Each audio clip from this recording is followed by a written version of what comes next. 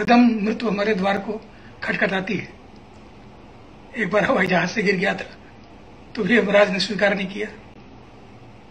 झांसी में दस साल पहले भी गुर्दा का प्रत्यारोपण हुआ, फिर भी लौट किया गया। भारत तेरह दिन तक मिडिल ईस्ट में वेंटिलेटर में रह करके मौत से लड़के आ गया।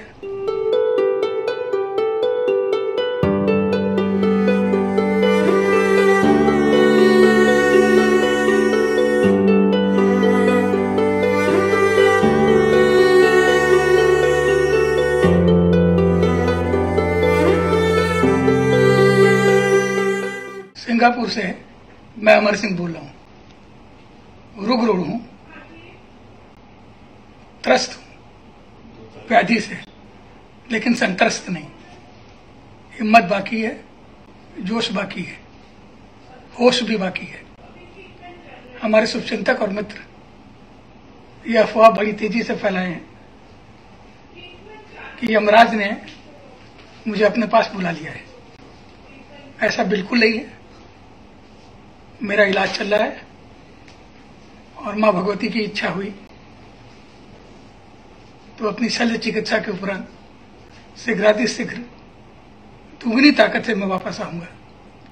और आप लोगों के बीच में सदैव की भांति, जैसा भी हूँ, जो भी हूँ, आपका हूँ अच्छा हूँ तो बुरा हूँ तो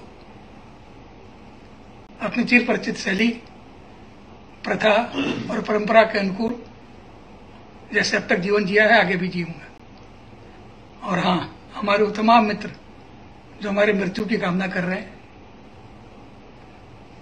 वे कामना छोड़ दें।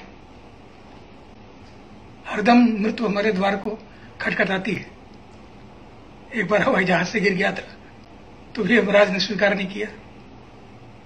झांसी में दस साल पहले भी गुर्दा का प्रत्यारोपण हुआ, फिर भी लौट किया गया। भारत तेरह दिन तक मिडिल ईस्ट में वेंटिलेटर में रह करके मौत से लड़के आ गया। उन तमाम अवसरों के मुकाबले अब की बार तो बिल्कुल स्वस्थ हूँ,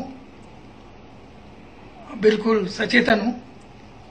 और हमारे डॉक्टर कहते हैं कि हमारा मस्तिष्क किसी दस साल के बच्चे से ज़्यादा उर्वरक है। फिर भी अपने सारे शुभेच्छुओं को, जो हमारी मृत्यु की खबर वो बुरी तरह से फैला रहे हैं प्रसारित कर रहे हैं। कोटि कोटि धन्यवाद।